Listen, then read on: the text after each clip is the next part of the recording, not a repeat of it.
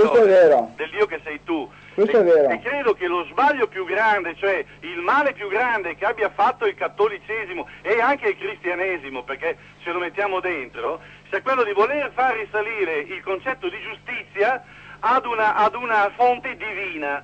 E questo è sbagliatissimo, perché vuol dire cancellare completamente l'umanità, cioè cancellare la parte umana de- del tuo io, del tuo essere sé, del Certo. tuo essere Dio. Certo, Ecco. sono d'accordo. E credo che questo in qualche misura sia stato in un certo senso ripreso dai Templari ed è uno dei motivi per cui poi, per cui poi sono stati perseguitati e mandati a rogo. Beh, c'erano anche altre cose per i templari, Sì, sì, eh. beh, questo lo so, li conosco piuttosto bene. Però siccome tu prima parlavi appunto di Sì, sì. Cesare Beccaria, Ti, ti faccio un riassunto del concetto adesso per radio. ti ringrazio molto. Eh, grazie a te. Ciao, grazie Claudio.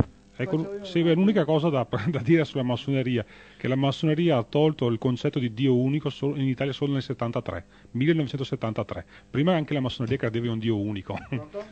Sì, per caso mai può Sì, sono Alessandro. Ciao Alessandro. Eh, buongiorno signori, io no, no, non è possibile ascoltarlo continuamente perché mi sarà anche la radio. Scusa, no, perché- chiudi la radio, va, va su Radio Maria e No, siamo no, no, no, no, no, basta. sta mettendo parola in bocca a te. Ma guarda Dio te, siete mangi aria, siete mangi sterco di animali che cara. Francesco è più intollerante di me, giustamente. Niente, rispondiamo invece all'amico Flavio. Il concetto reale, è quello che lega Beccaria al paganesimo, è il sentire il, eh, libertà nel circostante, cioè ciò che una parte del divino nostro interno che ci lega a tutto il divino del circostante è il concetto di libertà, cioè la nostra capacità di adattarsi per costruirci, per divenire, per svilupparci. Cioè il divino che ci sta attorno interferisce con noi specialmente attraverso la divinità libertà e noi l'abbiamo questa libertà dentro di noi ed è fuori di noi nel mondo che ci circonda. Beccaria eh, non ha fatto altro che cercare di tradurre questo concetto di libertà trasportandolo trasportando il concetto di no, perso. il concetto di libertà all'interno del sistema giuridico. E questo è importantissimo. Che poi lui fosse massone o di qualche altra cosa è poco importante perché ogni persona diventa quello che può essere in meglio nella sua epoca cioè, nessu- anche gli stessi stregoni, tu troverai anche per esempio degli stregoni cattolici, cioè tu li troverai questi che almeno fingevano di andare in chiesa, fingevano di sottomettersi, cioè tutte queste cose le troverai sempre, cioè, però spingevano per dare una direzione precisa al sistema sociale. Sì, infatti una cosa che, potrebbe- che noi abbiamo sempre ribadito, che il paganesimo non ha mai un concetto di trascendenza, ma sempre un concetto di immanenza, cioè nel senso che tutto quanto è su questa realtà ed è raggiungibile in questa realtà e non c'è nulla al di fuori di questa realtà. Perciò se tutto quanto è su questa realtà ed è su questa, da quello che è visibile ed è percettibile, qualsiasi cosa può essere raggiunta, modificata ed alterata e qualsiasi cosa può essere raggiunta da tutti. Cioè se io vado a piazzare un Dio come fanno i monoteisti al di fuori di questo mondo, posso trovare l'inganno di dire che solo i sacerdoti o gli eletti potranno raggiungerlo. Se io dico che il Dio cammina al tuo fianco, esiste su questa terra, è tuo- è- cioè, lo puoi vedere, lo puoi percepire, non ho bisogno della mediazione, non ho bisogno che alcune categorie di persone mi trovino questo Dio, perché io lo posso andare a trovare, lo posso cercare, lo posso incontrare. Cioè, questa proprio è la distinzione fondamentale appunto fra paganesimo e, polit- fra paganesimo e monoteismo anche un concetto in cui possiamo vedere la differenza tra monoteismo e politeismo è questo qua. Ad esempio, i cristiani hanno sempre avuto la concezione della sofferenza e hanno sempre avuto, quando sei colpito da Dio o sei colpito dalle disgrazie, eh, devi sempre ringraziare Dio. I pagani non hanno mai avuto questa concezione, dicevano fa, eh, se eh, questa divinità non ci aiuta nell'agricoltura, noi non avremo più frutti per offrire i sacrifici, perciò anche Dio mangerà meno, Beh. perché abbiamo poi meno da mangiare noi. Se chi fa il culto è ammalato, potrà fare meno sacrifici, Sì. potrà meno fare culto, culto ver- verso le divinità. Una vecchia storia, no, Francesco, di Domiziano, sai quello che, Mm. che metteva a rogo i cristiani, no, ma per, capire il Mm, concetto, sì. no? In un teatro romano è crollato le Mm. balconate e sono morte delle persone. E cosa ha fatto l'imperatore? Ha fatto abbattere il tempio a Teatrica.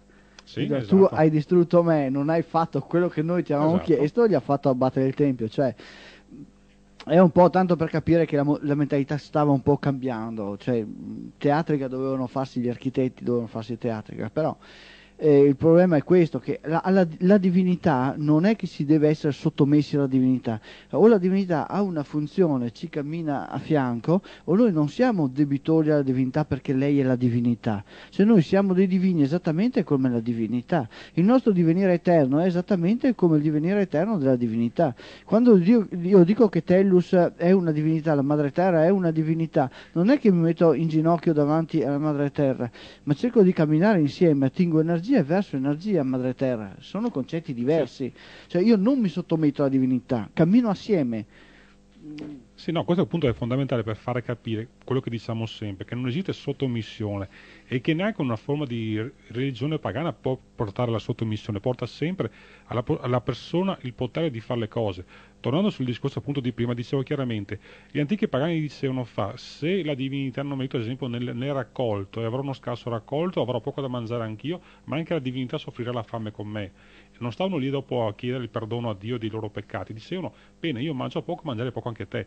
Se ad esempio il pagano diceva stavo ma- sta male dal punto di vista fisico, dirà, io ho meno energia da dedicare al culto e perciò la divinità avrà sicuramente meno di questo. Perciò se tu vuoi sacrifici, se tu vuoi che ti faccia i culti, benissimo, mandami l'abbondanza Aiutami dei raccolti, camminare. mandami la salute e io, ti, e io ti sarò riconoscente. Se questo non lo fai, tu ne pagherai le conseguenze.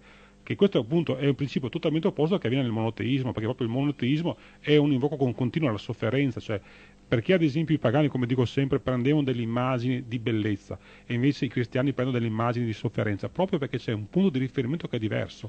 Cioè noi non possiamo vivere nello squallore, nella bruttezza, nella mostruosità.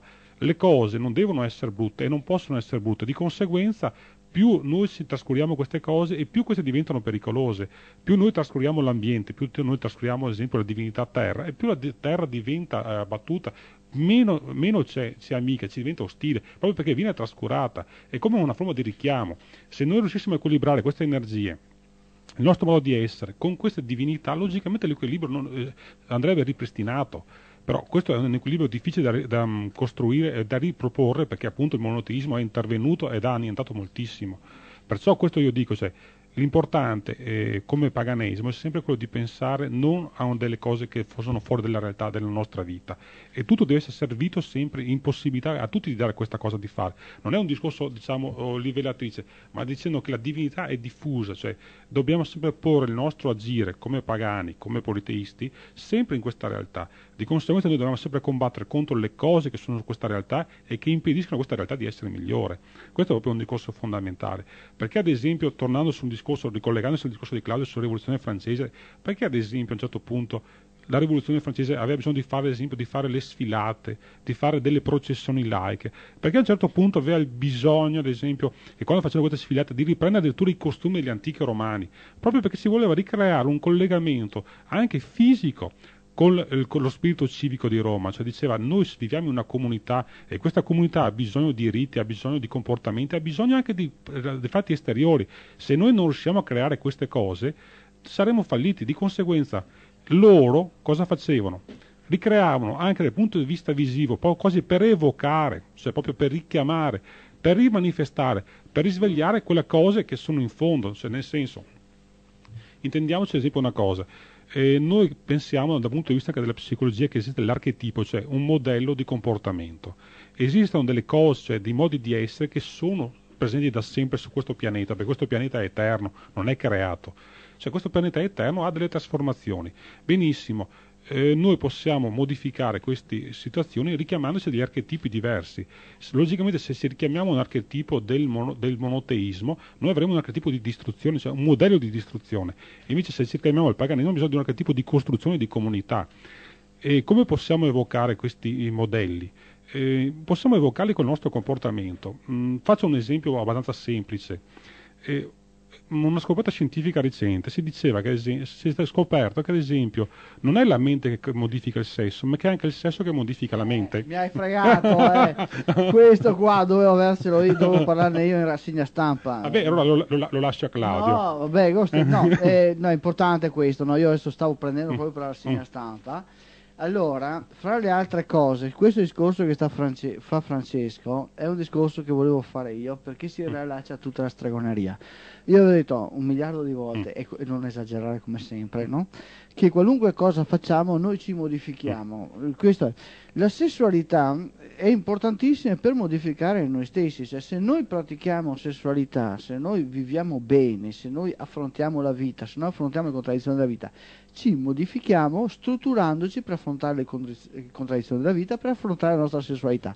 Dunque noi ci ampliamo, ampliamo la nostra capacità percettiva, ampliamo la nostra capacità di affrontare il mondo, ampliamo la nostra capacità sessuale, ma ampliamo anche la nostra capacità di comprendere il mondo, di cavalcare le tensioni del mondo. Per cui l'azione che noi facciamo modifica noi stessi ed il sesso è l'ultima cosa che viene a mancare quando noi stiamo per essere distrutti. Cioè perché noi troviamo tanta stregoneria sessuale, per esempio specie nel Medioevo? Perché quando gli esseri umani venivano distrutti, l'ultimo centro di energia a morire era il sesso e da là era necessario partire per ricostruire l'essere magico. Per questo noi troviamo tantissima magia sessuale. E praticare il sesso, fare sesso, significa modificarci in termini positivi.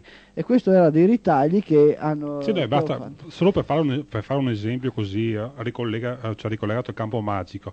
Un autore che qualche volta io cito, che è Alastair Crowley, nelle istruzioni per il nono grado dell'ordine dei Templici Orienti, si diceva che se noi dovessimo perdere ogni ricollegamento con le divinità e con gli dei, se anche noi dovessimo perdere la conoscenza di questi dei, avremmo sempre la possibilità di entrare in contatto tramite la sessualità, cioè proprio per dire che anche dal punto di vista magico veniva ripetuto, ripetuto fondamentale e come l'unica possibilità per entrare di nuovo in contatto con certe energie.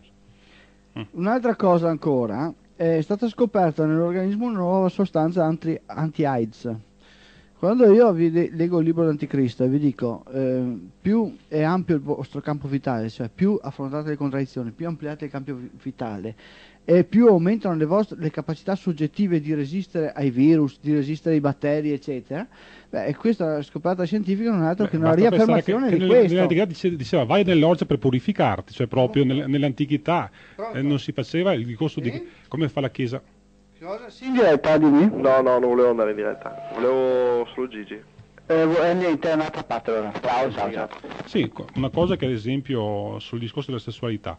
Anticamente, ad esempio, venivano compiute le orge perché? Perché avevano uno scopo di purificazione e di scaricare le energie. E addirittura si diceva, tu- se tu devi essere purificato vai nell'orgia, proprio perché era la possibilità di far circolare energie, di essere utilizzate, di essere indirizzate. Cioè, adesso appunto il Papa dice fa usate la castità, ma appunto perché loro dicono usate la castità? Proprio perché sanno benissimo che eh, così possono condizionare dei comportamenti e condizionando i comportamenti possono modificare anche la coscienza delle persone. Per fare un esempio anche a livello scientifico, Sì? Chi parla? Parlo con Claudio. no? Sì, sono io. Sì, ciao. Mi volevo farle una domanda Sì. con la speranza di avere un'ampia risposta. Eh, spero di dartela, spero di poter dartela. Mi voglio, siccome che la Chiesa è sempre stata una grossa potenza, no? Sì? In tempo, al tempo del nazismo, no? Sì? Quando Kigakonara tutta che gente, milioni di persone nei campi di sterminio, risposta perché non ho mai avuto nei suoi libri né in nessun posto. La Chiesa cosa si è data da fare per questi poveri disgraziati? No, niente, gli ha aiutato la costruzione dei campi di sterminio. Mm, Eh, se vuoi ti do, anche, ti, ti do anche la lettura dei pezzi. Eh, io ho già letto in rassegna stampa tutta una serie di articoli in merito. ecco perché c'è una risposta che penso che eh, chieda tanti questa, eh? Che nessuno ne ha mai avuta però, eh? No, no, ma guarda che eh, intanto la Chiesa Cattolica sta preparando una, mm, una richiesta di perdono per la sua attività di antisionismo e quando, quando Hitler cominciò il suo più grande alleato era la Chiesa Cattolica. Antisemitismo perché Anti- ah, antisemitismo, sì. Anch'io sono antisionista, Per cui eh, eh, si sa questo, eh? Solo che non viene, non viene propagandato. Ecco, non vi entra bene. Certo. Però se leggi attentamente i giornali tu ritrovi queste cose. Anche la necessità di chiedere scusa da parte della Chiesa Cattolica. eh. Chiede scusa, ma io chiedo in una maniera che la gente non capisce però, eh? Infatti dal vomito. Ecco. Dal vomito. No, era nel Veneto che è più semplice lo so. Un'altra, perché vi faccio usare che facciamo, vi faccio domi. Di me. La sacra rota Eh. Come mai che su certi matrimoni li, an- li annulla con facilità? Cominciando da, da- cominciamo dalla Pivetti, no? Che faceva parte di un partito politico che alla Chiesa non, dava, Sì. non andava, no? Che basta che la Pivetti si stacchi, la Chiesa ha concesso anche la- la- la- l'unità del matrimonio. Eh, Anche questa mi sono chiesta come Te- mai. te rispondo io perché. Tu a te, Claudio, te mi dai risposta mentre sul telefono perché sono interessata. d'accordo. Ciao. Sì, ciao. Eh, la risposta è abbastanza semplice. È sufficiente avere soldi, tanti soldi da dare alla Chiesa Cattolica o è sufficiente dare alla Chiesa Cattolica il potere? La Pivetti non ha dato tanti soldi alla Chiesa Cattolica, ma è stata presidente della Camera per cui aveva influenze politiche da vendere. E allora ha avuto quello che, Esatto. ha- che altri non hanno potuto avere. Poi rappresentava un partito politico che poteva essere potenzialmente ostile o teoricamente ostile, di conseguenza se hai la possibilità di, di fare un favore, dico su mafioso, io faccio un favore a te, tu fai un favore a me e sistemiamo le cose. Andiamo avanti ancora con la rassegna stampa. Dopo, dopo leggo l'altro, lo tengo come ciliegina, quello amico di Alberto. eh. Raid di gorilla per liberare l'amico. Un branco di gorilla costituito da una sessantina di esemplari ha seminato il panico per due notti consecutivi a Olmanzé, un villaggio del Camerun, nel tentativo riuscito di liberare un compagno catturato. Quando io vi ho detto che eh, per l'intervento dei- per combattere gli esseri che sono autoproclamati Dio creatore, la natura ha fatto un salto in avanti che non aveva fatto neanche fra un milione di anni, non si tratta solo del polipo che apre i barattoli o, dei, o dei ratti che, che passano per i cosi o degli insetti che si adattano. Eh? Tenete presente cosa sta succedendo in giro. Vediamo un attimo. Sì, beh, infatti sono delle trasformazioni proprio anche a livello proprio del- della sensibilità degli animali. Sono io. Dica. Eh, senti Claudio, Dimmi. pronto? Dimmi, dimmi. Senti, vuoi salutare intanto? Sì. Mi piace la tua trasmissione. Prima di tutto, cioè, non vorrei neanche dirtemi il coso, il nome, eh, no, il che è scritto magari, Cosa? però è scritto là il nome mio. Eh, ma sono da un tiro di schioppo, mi sono qua vicino. Va bene, dai, dimmi tutto. Ascoltami, vuoi tu spiegarmi, se non ti puoi adesso un'altra volta, Sì? che non c'è nessuna protezione dall'alto, come che si dice, il Padre eterno. Ah, ma lo, lo Ascoltami. di- dimmi tutto. Mi ascolti? Sì, sono quello di ascolto. Ecco, sta attento. Una volta che savai gli ebrei, no, da, da, da, da- va. da- dall'Egitto, no? Ma va. Ma adesso non, non si fa più sentire sto, sto padre eterno Dio. Eh. Ascolta, Sì, non c'è nessuna protezione. no, Tutta che gente che tribo al mondo. sì, E ora chi è che protegge? Nessuno, dove bravo. vieni protetti? nessuno, E, da- e il diavolo esiste. Ne- neanche, Neanche il diavolo. neanche. No. Spiegami un'altra volta, vorrei da un altro prelato che spiegasse queste robe, ma mi pare mica i dite dei fandogne. Ma sai che stava una volta una radio che voleva fare un incontro fra me e un, e un teologo. E, e, Il ma teologo è scappato. 20 anni, cosa vai a studiare? Ah, Si va a studiare 25 anni i, i- i niente, padri te- religiosi. te- il, te- il teologo è scappato. Ah, Il teologo è scappato. ma scusami tanto, ti bello. Chi spiega ste robe? Perché Ma non come posso mai che non spiegare. nessuna protezione? Perché qua dice tanto pregare, pregare, pregare a chi? Eh, anche a me vorrei saperlo. Oh, oh Vito, sta attento, qua non c'è nessuna protezione. Una volta che salva il popolo ebreo, adesso No, non no, salva più nessuno. No, no, lì se ti spiego. lì- Essere spiego. salvato. Che tu sarà? No, no, sono qua che ti ascolto. Eh, che tu tempo, che tu un minuto. Come no? Anche a due minuti. Ecco bravo. Però non gli sta, non gli sta a salvare il popolo ebreo, eh. Ciao. No. Ma, ma scusami tanto. No, ti Ma spiego. se il sei fatto discorso, vedere da, da il Mosè discorso che- del Mar Rosso te lo spiego così io. dice la storia No, ti eh, spiego la io. Bibbia.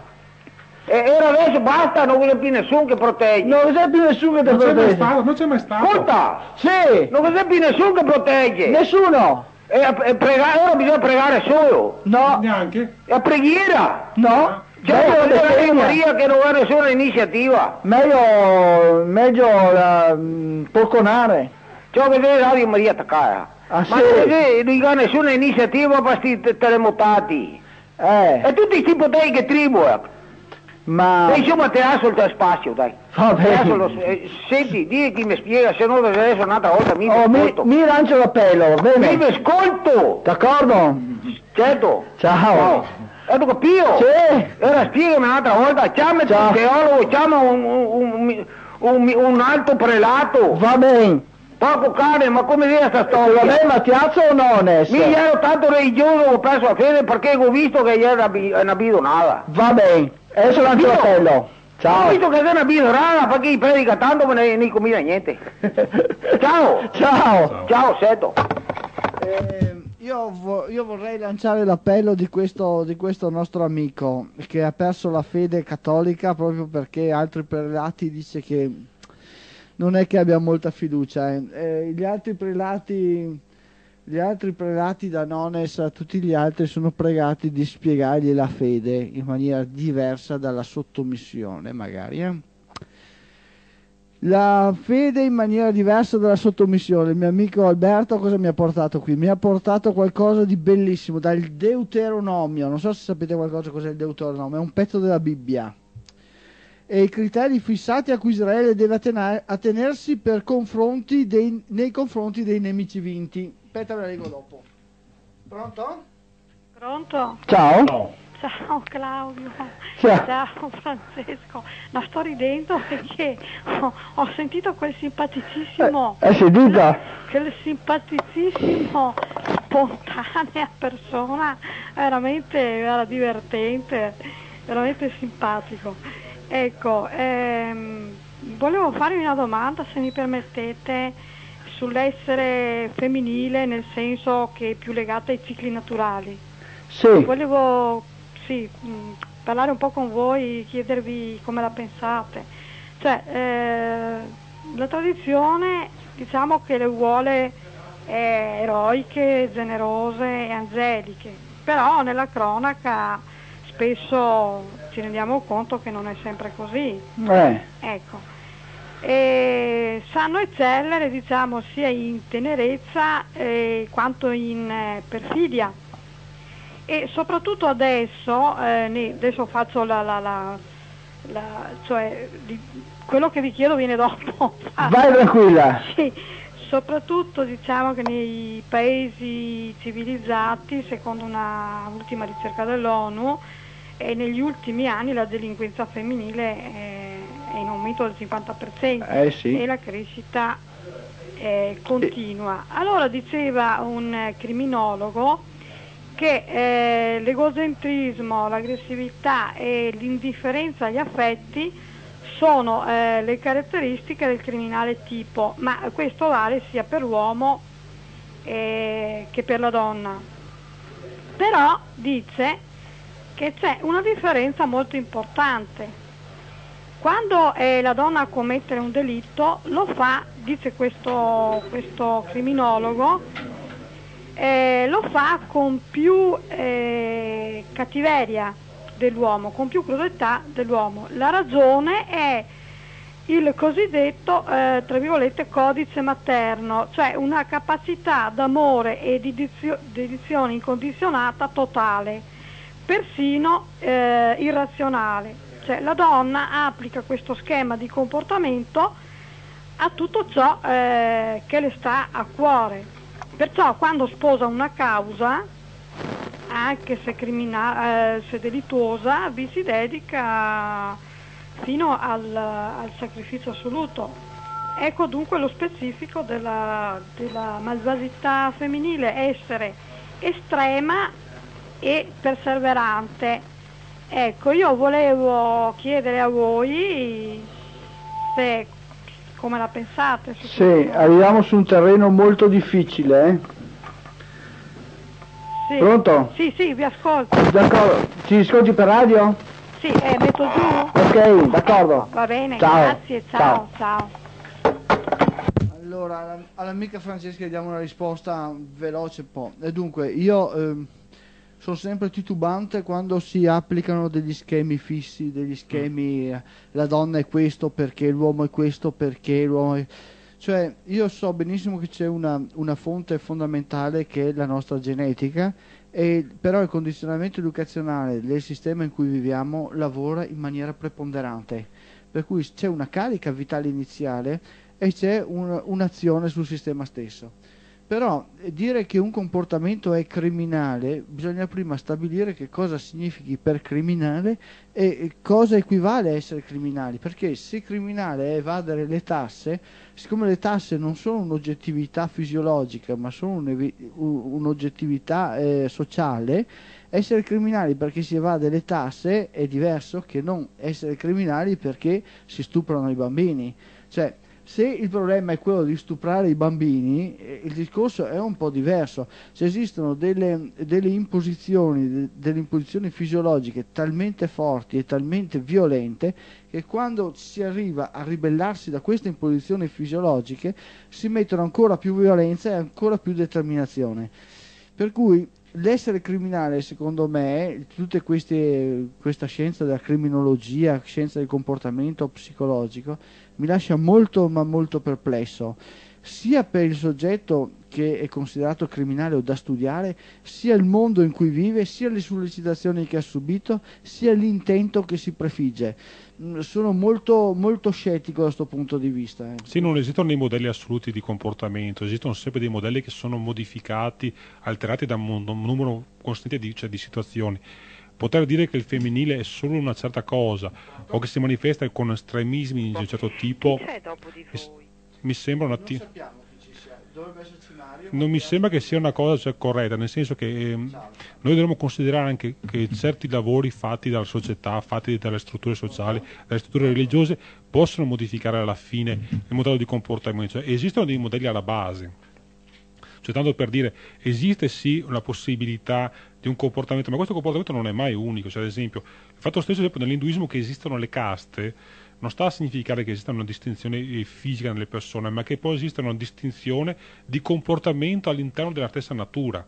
Il che vuol dire che ci possono essere persone che sono uguali, che vivono nella stessa società, che hanno delle tendenze e delle situazioni diverse. Poi logicamente il sistema delle caste in indiano è stato un attimino eh, rovinato, decaduto, da non considerare. Però ehm, qualcuno sostiene che dal punto di vista psicologico che non esiste un unico comportamento, ma che esistono ad esempio eh, quattro comportamenti, quattro variazioni basilari. Cioè, ad esempio anche la psicologia di, di riferimento junghiano tende sempre al numero 4, ma c'è quattro variazioni dello stesso modo di essere. Perciò potremmo trovarci in, in- in alcune epoche in cui questo comportamento di un certo tipo viene esasperato, viene caricato per fattori storici, per scelte politiche, per scelte religiose. E se poi questo comportamento perdura, tende a soffocare gli altri. Il fatto che questi comportamenti diversi vengano poi soffocati, vengono emarginati, non è che vengano rimossi o cancellati, cioè rimangono lì. Più uno tende a comprimerli, più tenderanno a esplodere. Di conseguenza, più forte io cerco di indirizzare in un'unica via, in un'unica scelta, in un unico comportamento, in un unico modo di essere una persona o una civiltà, e più gli elementi che io dovrei considerare nel- nell'argomi- cioè nell'argo- diciamo, dal punto di vista organico o dell'armonia, più oh, li, li escludo e più loro tenderanno a farsi vivi. Cioè, eh, noi non possiamo escludere come fanno nelle culture adesso molti elementi, dobbiamo cercare di portarli dentro, cioè di farli riemergere questi elementi. Il considerarli in un contesto o- organico, in una ma- naturale manifestazione, permetterebbe anche di, cioè non di scaricarli, ma di renderli meno il, violenti. il sistema sociale in cui viviamo tende ad appiattire i comportamenti su un unico modello, no? Naturalmente, siccome le variabili sono infinite, sono moltissime, le variazioni e le ribellioni a quel modello sono infinite e avvengono come scelta dei, dei singole persone. Per cui non so se alla base criminale c'è il comportamento delle singole persone che può anche essere censurabile o se invece è il tentativo di un sistema sociale di appiattire i comportamenti su un unico modello, cioè la, la- la donna madre, moglie, angelo del focolare, tanto più violentemente impo- imponiamo questo ruolo e tanto più violentemente questo ruolo tenderà ad essere superato da un numero sempre maggiore di persone. Ora, se io considero che tutti quelli che tentano di superare il modello di donna, angelo e moglie del focolare sono dei criminali, al di là se magari uno ammazza o non ammazza per superare il ruolo, questo non ha nessuna importanza, eh, io dico che eh, il numero di criminali è maggiore del numero delle donne, cioè che si adattano a quel modello. Per cui io ci starei attento, cioè il valore soggettivo è importantissimo. Infatti perché nel paganesimo rivalutiamo la soggettività come elemento centrale? Perché ogni persona ha un suo sentire diverso il mondo, ha un suo modo di svilupparsi, un suo modo di intendere. Questa è la vera ricchezza di un sistema sociale ed è la vera ricchezza della stregoneria del paganesimo. Sì, io vorrei aggiungere una cosa, ad esempio, che forse va a completare questo argomento. Ad esempio, noi parliamo sempre del punto di vista religioso, di paganesimo, di politismo, cioè di più centri. Dal punto di vista, ad esempio, politico, in certi ambiti italiani sta sviluppando, ad esempio, la critica del pensiero unico. Ma cos'è in sostanza la critica del pensiero unico? Cioè, nel senso, noi diciamo esiste un pensiero unico nel campo religioso che è il monoteismo e noi lo vogliamo combattere col paganesimo, col politeismo. Qualcuno dice ormai questa forma di pensiero unico che esiste nella religione si è tramutata anche nell'economia, in cui il pensiero unico è l'economia, ma non l'economia reale. L'economia è svincolata e tolta dalla materialità delle persone. Perciò l'economia può annientare interi paesi, può annientare intere nazioni, perché l'unico scopo è il mercato, l'unica logica, logica, del mercato. Questo ad esempio è un argomento del pensiero unico nel campo politico, nel campo economico che noi dovremmo andare a affrontare se ci sarà il tempo, se ci sarà la voglia, se ci sarà l'occasione. Ma già questo qua dimostra come in ambiti diversi dal campo religioso, che è il nostro, esistono delle sensibilità che hanno individuato nel pensiero unico, cioè un unico punto di riferimento, un unico modello, la nocività per l'esistente. Lo dicono, noi stiamo distruggendo ad esempio l'economia, stiamo distruggendo dei paesi perché il nostro punto di riferimento è il modello unico, è il profitto. Se noi avremo solo questo punto di riferimento, qualsiasi cosa potrà essere annientata e distrutta perché l'unica cosa da raggiungere è il profitto. E questo qua è una dimostrazione come alla fine la nostra tesi di combattere il monoteismo dal punto di vista religioso si trova una, una corrispondenza anche nel campo politico e nel campo economico. Cioè, il fatto appunto che tutto possa essere ricondotto a un unico comportamento alla fine porta alla distruzione delle persone perché non tutte le persone, nessuno potrà mai uniformarsi a un unico modello. Il sistema sociale diventerà politeista il sistema sociale diventerà pagano per necessità, non perché noi riusciremo a convertire qualcuno al paganesimo. Sì, ma basta... Tanto per essere chiari. Sì, no, beh, tanto per fare un, es- un, esempio, sto- un esempio, storico, un prete, eh, Bace Bozzo, che appunto è famosissimo come scrittore, nell'86 lui ha scritto un articolo, 86-87, ha scritto un articolo sulla Repubblica in cui diceva il conflitto del futuro farà, sarà fra monoteismo e politeismo. Sì, e nel Deuteronomio, adesso cambio argomento di brutto, nel Deuteronomio sono fissati i criteri a cui Israele deve, a, deve attenere nei confronti dei nemici vinti. Non si tratta di criteri uniformi, il comportamento sarà diverso a seconda che le città espugnate si trovino al di fuori della terra promessa oppure entro i suoi confini. Nei confronti delle prime, le regole che Israele deve seguire sono queste. Dovrai passare a fil di spada ogni maschio adulto le donne invece, i bambini e il bestiame e tutto quello che viene nella città, tutte le sue spoglie le riserverai per te come bottino. Godrai del bottino dei tuoi nemici che Yahweh, tuo Dio, ti ha concesso. Così tratterai, tu, tratterai tutte le città distanti da te ma diverso è il caso di quelle su cui pesa l'inespli- eh, l'inespiabile torto geografico di trovarsi entro il perimetro della terra promessa. Nelle nazioni che Yahweh tuo Dio sta per darti in eredità non lascerai alcuno in vita. Devi votare all'anatema Atei, Amorrei, Cananei, Ferezei, Evei, Gebusei, come ti ha ordinato Yahweh tuo Dio, affinché non ti insegui, insegnino a praticare tutte le cose abominevoli che essi fanno alle loro divinità. Pecchereste contro Yahweh vostro Dio. Questo fa parte di un articolo apparso sul uh, Corriere della Sera di giovedì 23 ottobre 1997 che l'amico Alberto mi ha mandato. Ucciderai i maschi adulti mentre roba, donne, bambini, che tanto sono sempre roba, no? Eh, li riserverai per te. Infatti se le donne sono roba chiaramente il fatto di essere considerate persone implica un livello di violenza altrettanto grosso di chi le ha ridotte a roba, per cui ci saranno dei comportamenti che qualcuno qualificherà come criminali. Ma il criminale è chi cerca la libertà o chi impone la schiavitù? Punto di domanda e a voi la sentenza. Resta valido l'appello del nostro amico mm. per, uh, per il teologo che gli consenta di riavere fede. Vai Francesco, sì. tutto tuo. Sì, ecco, io vorrei aggiungere una cosa eh, sempre sull'argomento invece di attualità. Noi purtroppo ci troveremo a vivere nel 2000 di una festività che non è una festività, ma dovrebbe essere considerata una tragedia, un lutto che è il giubileo. Il giubileo appunto è fissato per... per... Domani è Halloween! Beh, no, Halloween lo festeggiamo comunque, lo festeggiamo il primo e il 2 di novembre, noi pagani. Ecco, eh, una cosa, mh, eh, si è costituito a Roma un osservatorio sul giubileo. Eh, purtroppo questa volta non ho portato l'indirizzo, ne parleremo casomai in una delle prossime trasmissioni. Eh, hanno aderito parecchie persone a questo osservatorio sul giubileo, è un'iniziativa diciamo laica, ha aderito Ronchey, ha aderito anche Giordano Bruno Guerreri che è stato citato per altre storie in questa radio e ha dichiarato chiaramente che è inammissibile che uno Stato laico venga sopraffatto da una Chiesa cattolica e che imponga allo Stato laico eh, la necessità di festeggiare un giubileo.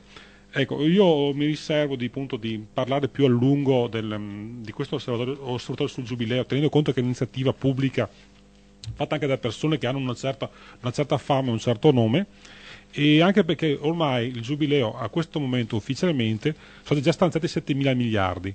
Eh, certamente eh, è una cosa inaccettabile che uno Stato laico che si proclama laico o che dovrebbe essere laico vada a spendere 7 mila miliardi per festeggiare una data che loro stesso dicono che è fasulla, perché lo stesso eh, stregone polacco che c'è in Vaticano No, detto- stragone, è cavoli, è prete. non offendiamo la categoria. Eh, volevo vedere come reagiva Claudio. Diciamo, eh, quel buffone vestito di bianco che, che gira dalle parti de- di Roma, Che poi è anche un mafioso, ha organizzato la mafia contro le donne indifese, non ce lo dimentichiamo mai questo. sarebbe da parlare ad esempio di tutto quello che fanno i cattolici contro ad esempio la legge sull'aborto, che lì sarebbe da, da parlare. So- non solo quello che fanno legalmente, ma quello che fanno illegalmente. Cioè, noi ne abbiamo l'esempio tragico degli Stati Uniti in cui addirittura i medici che praticano l'aborto vengono La- uccisi. l'aborto, Francesco, ma tu mi inviti a nozze, amico mio, tu mi inviti a nozze. Allora, è apparso sulla Repubblica di sabato 25 ottobre 97 Mm. i dati sul- sull'aborto, aborti dimezzati in 16 anni. Bene, qui eh, praticamente la legge sull'aborto non ha portato altro che a dimezzare gli aborti, il che vuol dire che la scelta magari non era l'ottimale, però è stata una buona scelta, sono stati dimezzati, il che vuol dire che è aumentata la consapevolezza nel fare figli. Bene, sai di cosa si lamentano i cattolici? Vuoi che te lo dica? Guarda qua. No, il problema è mal posto, perché intanto bisognerebbe aver chiaro che la percentuale degli aborti è ancora molto alta rispetto al numero delle nascite. Siamo a 1,29 bambini a coppia, uno dei tassi più bassi del mondo. Bene, questa gente vuole solo bestiame da mettere in ginocchio al suo Dio. Che cazzo di rispetto si può dare a sta gente? Sì, no, ma basta pensare che io ho, visto, ho, ho letto su una rivista cattolica fatta a Vicenza, eh, cattolica, ufficiale, riconosciuta, che diceva che ad esempio che era aberrante fare la pubblicità ai preservativi, perché era come dire al criminale vai a rubare che dopo c'è l'amnistia. Cioè, pensate solo all'argomento in cui sono arrivati, al confronto che hanno fatto, che hanno generato per una cosa del genere, cioè vanno a reputare come istigazione a delinquere il fatto di fare pubblicità ai preservativi. Cioè, poi pensiamo chiaramente a una cosa del genere. Noi abbiamo un Papa che dice ai farmacisti cattolici di non vendere i preservativi.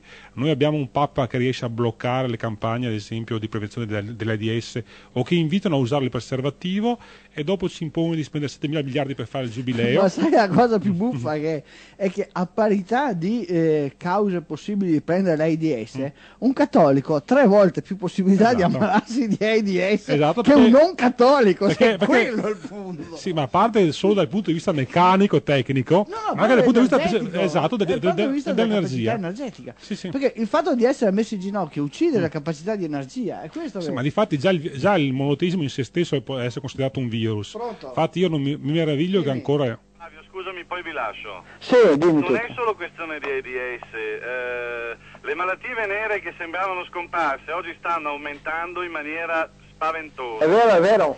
Sifilide, plenorragia e cose del genere. Cose che fino a dieci anni fa sembravano assolutamente scomparse. È vero.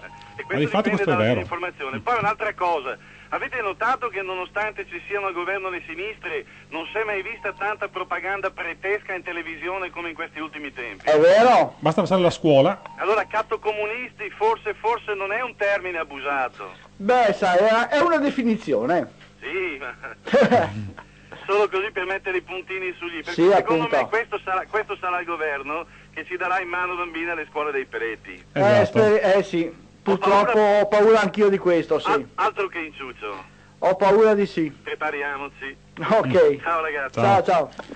No, in effetti, in effetti anch'io ho lo stesso timore purtroppo. Senti, un omaggio all'amico Alberto che si propone Sì. a mandarmi sempre articoli. L'amico Alberto legge assiduamente La Padania e siccome sembra che fra, fra Partito di Bossi e Chiesa Cattolica non corra buon sangue, La Padania pubblica una serie di, mh, di ricerche sulle- sui proventi delle curie e le ricchezze delle curie. Eh, ricchezza delle curie a Bergamo, miliardi che girano, centinaia di miliardi non tassati. eh. Io non so quanto questo sia vero, ma non ho nessuna difficoltà a, med- a dire che sia vero. Beh, basta pensare che lo IOR è un socio, seppur di minoranza, del Banco Ambrosiano Veneto. Sì, chi parla? Ah, buonasera, cos'è? Eh, sono Marcello da Treviso, cos'è Franco Carraro? No, no, no, lo trovo dall'altra parte. Sì, appunto, basta pensare che ad esempio lo IOR ha, partecip- ha partecipazione addirittura ad esempio per quanto riguarda il Banco Ambrosiano Veneto, è una partecipazione di minoranza. Poi metà della partecipazione è data dato impegno a un'altra banca per motivi interni loro, però cioè, esiste questa partecipazione dello IOR all'economia italiana.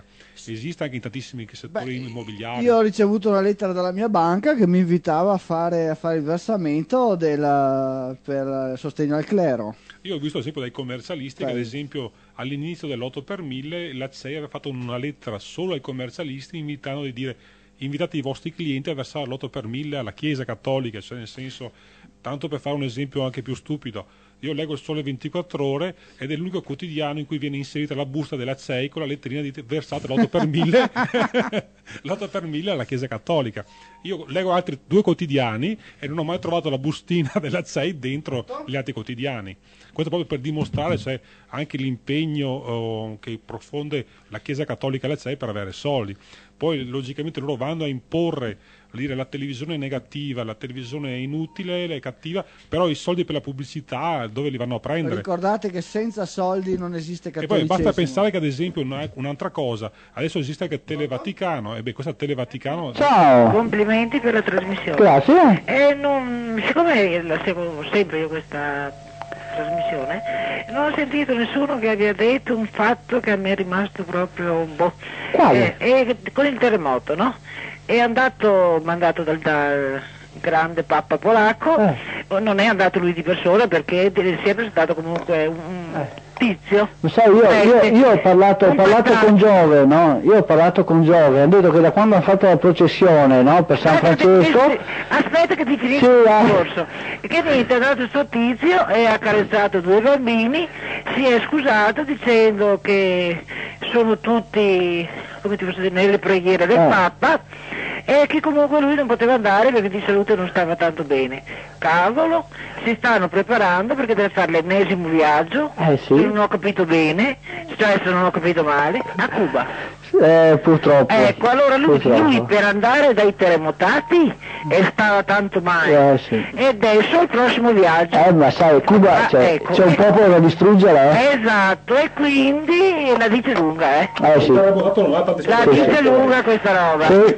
Ciao ragazzi. Ciao, grazie, ciao. Sicuramente un terremotato non avrà la disponibilità economica da fare i versamenti Pronto? l'8 per 1000 o Claudio, versare ieri pomeriggio mi ho incontrato con un'amica Che ti hanno detto di bello? e mi diceva proprio, guarda non sei partita da me perché ormai sono un po'...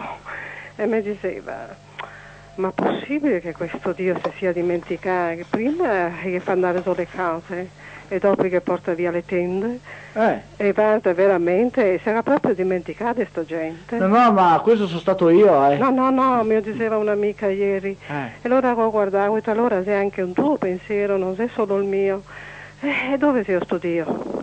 Possibile che sarai proprio dimenticata sta gente? Eh, invece Di, sono di- di questi e di tanti altri? Ecco questo, solo questo caro. Giro la domanda a chi di competenza. Eh, ma comunque... Scusa, va- d'altronde se il Dio vive su- oggi, non lo so, ma mi oggi co- ascolta la vostra sorella cooperativa radio emittente. la- Eh. Eh, ho sentito un, un ascoltatore che si è intervenuto, sono un po' in veramente sto male. E diceva, ma guarda eh, che se è morto sto Carraro Franco. E allora il prete che ha chiesto, Don Albino, che ha chiesto, ma eh, dimmi il nome, e io ho capito che sei un certo Roberto. Sì, sì, insomma, ha detto che sei morto, mi proprio che ho creduto, eh.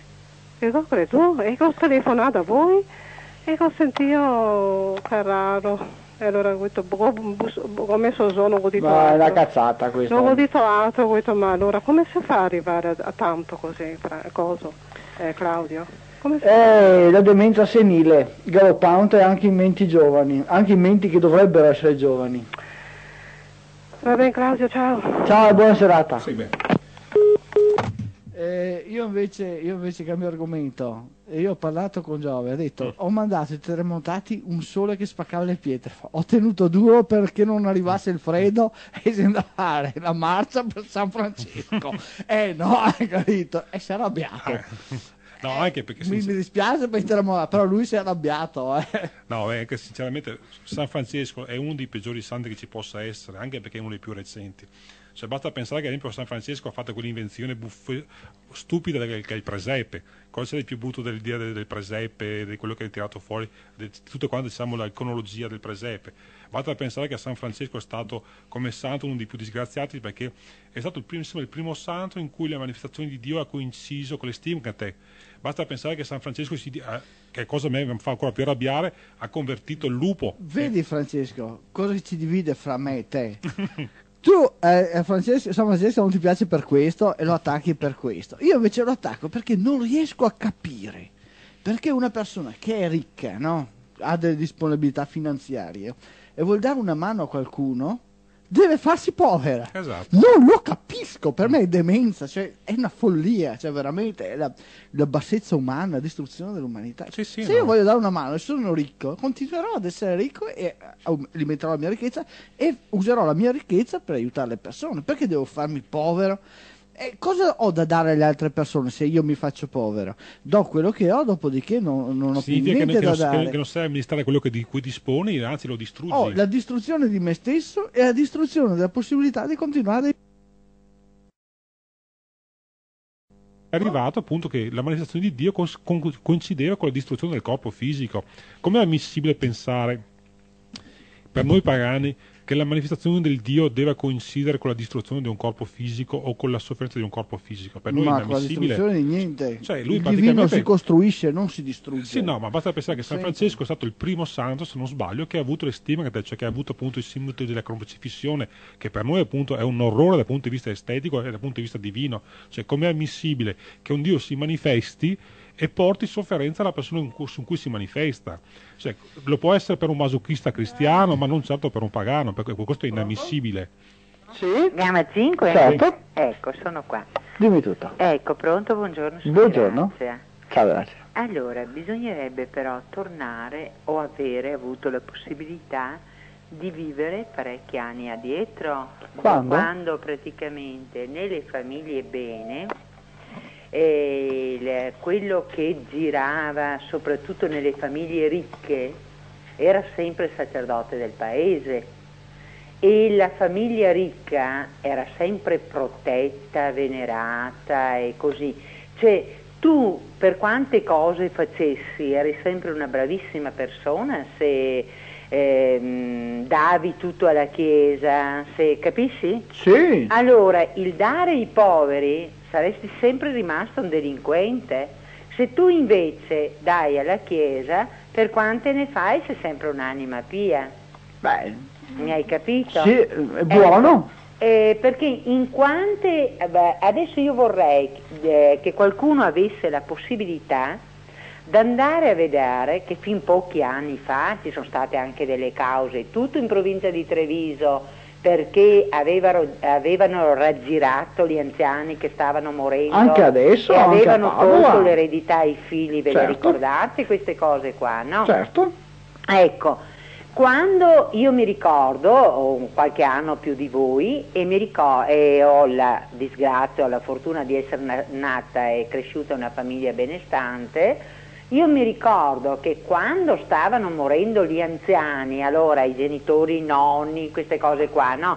I genitori di, di mio papà, i nonni di mio papà, perché poi dopo le generazioni sono cambiate, qualcosa si è cominciato a capire, ma quando regnava, anche con i soldi regnava la totale ignoranza nelle famiglie, quando l'anziano di famiglia, che era sempre quello che portava avanti tutto, soldi, segreti, nessuno sapeva cosa c'era, perché Esatto. i soldi non andavano messi fuori di casa, erano sempre nascosti in qualche parte, no? E nessuno sapeva niente. Quando questo anziano, eh, guarda che il prete viveva giorni e giorni e giorni al capezzale di queste persone.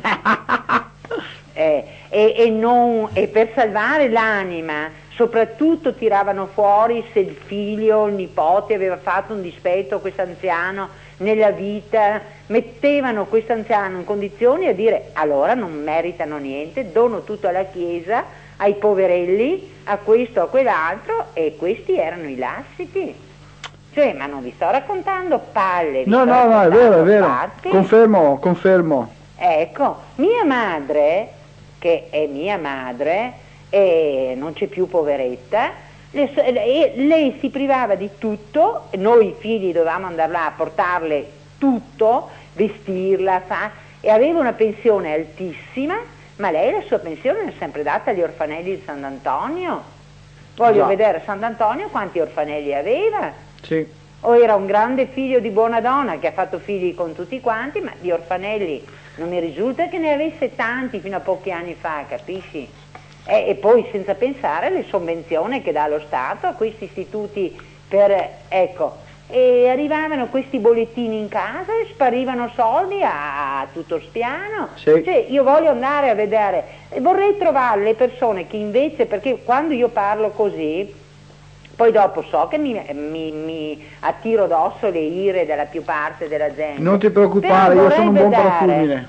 E vorrei vedere quante sono le persone che hanno il coraggio di dire cosa succedeva nelle famiglie. Tipo i miracoli che una volta, guarda caso, c'erano, vedevano, facevano, a parte che il vino volava ragazzi, perché una volta non sapevano gestire come adesso, era come la droga di adesso, ma eh, il vino una volta lo bevevano gli anziani, di conseguenza dopo di notte vedevano di tutto. Sì, sì, vedevano di tutto, sono d'accordo. Ecco, e c'erano tanti di quei miracoli, la Madonna, che non ti dico. Adesso guarda caso c'è solo qualche imbecille che tira fuori qualcosa protetto, prima di dare conferma che hanno visto, che hanno fatto, passano generazioni, sì che si è dimenticato il Sì, particolare ma io, io ho un appunto, io ho un appunto che le lacrime della Madonna sono olio d'oliva. Ecco, e insomma, ma aspetta te però, te fra cent'anni, o fra 50, adesso non so quanti anni hai, tu non ci sarai più? E questo ricordo sarà passato, però i documenti che sono stati scritti, le, le varie perizie, le varie cose, rimarranno e queste saranno le cose che andranno avanti dopo. Eh, ma io, io Per faccio creare rassegna stampa e lascio in eredità per qualcuno. creare tutte queste cose qua, capisci? Capito. A fondo chi è che ci va a vedere ogni santuario che è nato, da che cosa è nato? E che razza di supermercato è? Sì, Buona giornata ragazzi. grazie, ciao. Io però, io però sono arrabbiatissimo con una radioascoltatrice che non sento più.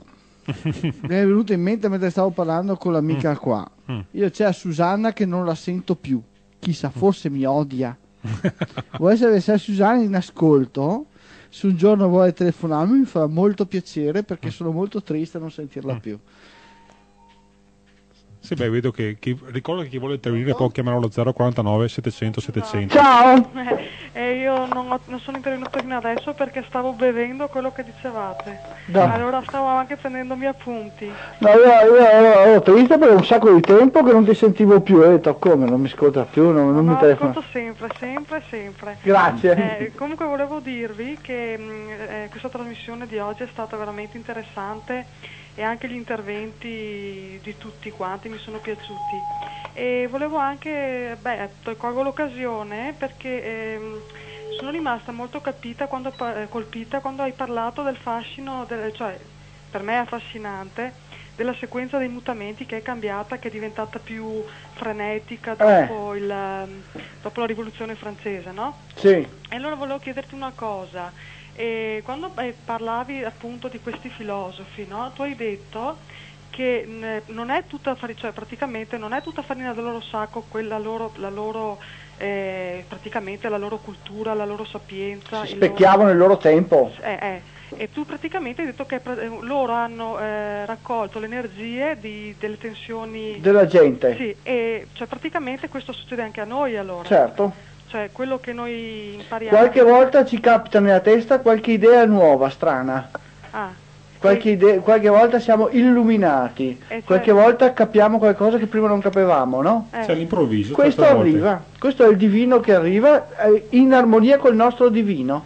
Eh, ho capito, allora sei tu che mi mandi i messaggi. ho capito, interessante comunque. eh. Eh, ricordati che io sono in trasmissione anche dalle 7 alle 20, eh? Eh, io ascolterò senz'altro e volevo dirvi, ehm, magari vi, telefono un giorno, magari per farmi mandare delle cassette che, mm, mancanti, che adesso però non so quali siano. Sì, se vuoi ti manderò anche dei libri. Certo, certo, non, non, non- Anche perché adesso i libri di Claudio sono in edizione economica, perciò non sono Sì, problemi. ma sono contenta di contribuire anche finanziariamente al paganesimo. Grazie, ma non ti preoccupare, ce la facciamo ancora. Eh, sì, eh, comunque se- volevo anche, mi dispiace tanto, non so cosa sia successo a Franco, comunque voglio esprimere tutta la mia solidarietà e spero che comunque sia un, mm, co- una- un- un episodio, cioè che sia una cosa provvisoria, cioè che poi tutto torni normale come, come prima. Sì, sì, non ti preoccupare, comunque Franco ha due belle spalle robuste, non Sì, si arrende per così poco. Sì, appunto so che poi lui non vuole dare Certo. eh, eh, soddisfazione a certa gente. Eh, va bene, vi- Grazie, Susanna. Mi, mi fa molto piacere che, mi avete nomi- che avete parlato di me, che vi siete ricordati di me. Eh, eh, vi, vi saluto. Ciao, grazie, ciao. Andiamo con l'ultima telefonata perché stiamo per chiudere e metteremo su una cassetta di Mario perché forse Mario non viene. Pronto? Audio. Sì, ciao. Ciao, sono la Roberta. Ciao Roberta, ah, dimmi tutta. Senti, eh, voglio dirti una, come dici te, una cazzata. Dimmela. Ah, non, non- non sgridarmi. No, no, no. Voglio raccontarti una barzelletta. Dimmi. C'è uno che sta morendo, no? E chiama vicino il prete, sai, a proposito dei preti che sono vicini agli ammalati, no? Sì. Questo qua è pieno di soldi e li vuole tutti nella cassa. Arriva il prete, non riescono a metterli dentro, non riescono a chiuderlo perché ci sono troppi soldi, capito? Eh, E il prete va dal suo superiore a chiedere cosa deve fare, insomma, sta via due giorni, questi non vedono mai arrivare il prete, aspettatemi, eh, aspettatemi che vi porto io la soluzione.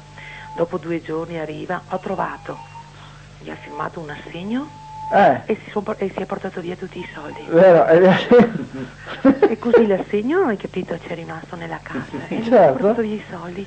Bella. Ciao. Ciao Roberta. Ciao. Eh, capacità di, capacità di organizzazione. L'ultimissima, dai, dopo Sì. no. Pronto? Pronto? Sì. Bene, noi chiudiamo qui la trasmissione Magia Stragoneria Paganesimo. Francesco, se vuoi dire qualcosa? Sì, beh, io appunto sarebbe qualche cosa da chiudere, che abbiamo aperto molti discorsi e comunque quello che vorrei sempre dire è di cercare di non fidarsi di chi si proclama eh, rappresentante di un Dio superiore, perché non esiste nessun Dio superiore. Cercate di vedere il mondo tramite i vostri occhi, di non delegare niente a nessuno, di cercare di essere voi stessi e che quello che vi serve vi è intorno, basta saperlo cercare. Prima si parlava del pensiero, benissimo i pensieri sono nostri, ma sono anche i pensieri degli altri che noi possiamo intercettare possiamo utilizzare. Cerchiamo che questi pensieri siano i più affini ai nostri e che siano pensieri di libertà. Cerchiamo appunto di non farci annientare, cerchiamo di non avere pensieri che ci siano, diventano degli incubi, ma dei pensieri che sono dei pensieri di libertà. Come appunto dicevamo prima, i pensieri viaggiano, cercate di sintonizzare il vostro pensiero su qualcosa che sia di positivo, anche perché le divinità pagane camminano al vostro fianco, gli dei, gli dei pagani sono ancora in giro per le strade per il mondo, perciò voi potete benissimo vederli, cercarli. Abbiamo appena chiuso la trasmissione. Ecco. Ecco, voglio, io voglio ricordare appunto che i libri, di Clau- i libri di Claudio sono- stanno uscendo in edizione economica. Per chi è interessato al bollettino di informazione che inviamo può scrivere a Istituto Mediterraneo di Studi Politeisti, casella postale 53 36063 Marostica Vicenza. Chi vuole invece scrivere a Claudio, gli do l'indirizzo, visto che Claudio ha il telefono, è Claudio Simeoni, via delle Vignole 4, 30 175 Marghera Venezia. Ecco, oh, la prossima volta noi potremo dare anche mm, indicazioni circa il costo dei libri di Claudio che sono stati pubblicati da poco, ne sono stati tre. Sicur- sicuramente comunque noi lasceremo qua in cooperativa nel negozio di fianco qua alla radio di varie copie e di conseguenza non sarà bisogno neanche di scrivere o di contattarsi Francesco ti libri. saluta Giampaolo. E ricambio i saluti. Ecco, ehm, altre cose, eh, casomai altri argomenti che volessero essere approfonditi, eh, basta che si vengano richiesti. Ecco, una cosa che io vorrei fare come invito, eh, visto che il prossimo ciclo di trasmissione si parla di paganesimi contemporanei, cerchiamo di fare il possibile che fra qualche anno non ci sia più un monoteismo che si rompe le scatole e che ci possiamo trovare qua solo a parlare di paganesimo. Bene, chiudo la trasmissione, chiudo la trasmissione Magia, Stragoneria, Paganesimo. Io sono Claudio Simeoni, via del Vignole 4 Marghera, come ha già detto Francesco. A risentirci la prossima volta. Adesso metteremo su di Mario una cassetta. Attenzione che non c'è Mario, eh, metterò su una cassetta. Arrivederci e a risentirci.